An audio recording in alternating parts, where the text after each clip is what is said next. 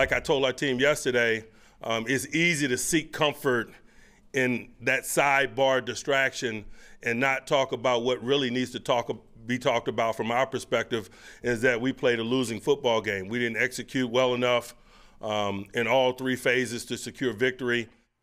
Hi everybody, welcome to a Tomlin Tuesday edition of Steelers Live. Today, Coach Tomlin said he purposely was thoughtful in not talking about the last eight seconds of that Thursday night game in Cleveland following the game, but today said it was ugly for football. There you heard what he told his team yesterday during the first team meeting of the week as the Steelers look to face another AFC North opponent in the Cincinnati Bengals. Let's get right to the injury report. Coach Tomlin updating us with a number of guys to watch this week. Practice starts on Wednesday as always.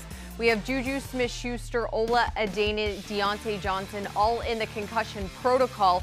Coach Tomlin also said that Juju Smith-Schuster is dealing with a knee injury. James Conner, according to Coach, re-injured his shoulder in the game in Cleveland. Was not sure what his availability might be this week. Also an in-game injury for Artie Burns. Uh, so we will have to watch his availability as well. But there could potentially be some good news for Benny Snell. Coach Tomlin said that we could see him returning to practice, even possibly the game. He has missed the past two games with a knee injury, but of course, in order to return to the lineup, he will have to check a number of boxes. Here's more on, from Coach Tomlin. You know, health first and foremost. Um, he's got to be able to protect himself, and, and secondarily to protecting himself, he's got to be able to protect the football. Uh, if he's capable of doing those things, then we evaluate his the level of detail and his overall readiness from an assignment standpoint. So there are a couple things that we're looking at. Another name that Coach Tomlin mentioned was LT Walton. We have just learned he was placed on IR and the Steelers have brought back linebacker Tuzar Skipper. There have been a number of roster moves since the game ended on Thursday and due to all of the injuries, let's look and recap for you. Added to the Steelers 53-man roster, Deon Cain, he was on the Colts practice squad, a wide receiver. Running back Kerrith Whyte was on the Bears practice squad. Those two guys have to be on the Steelers 53-man roster for at least three weeks since they were on other teams' practice squads.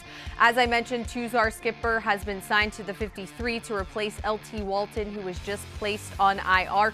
Also, some shuffling on the practice squad. The Steelers released Jayrone Elliott and Tony Brooks James. They then added, or excuse me, they were on the 53-man roster. Released from the practice squad, Terry Wright and Sutton Smith. The team added wide receiver Quadree Henderson. He played next door at Pitt. Also wide receiver Amara Darboh and also uh, running back Ralph Webb was added to the practice squad as well.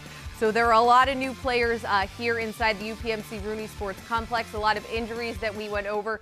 The Steelers will have to try to work through and figure out as they begin to game plan and practice heading to face the Bengals in Cincinnati on Sunday.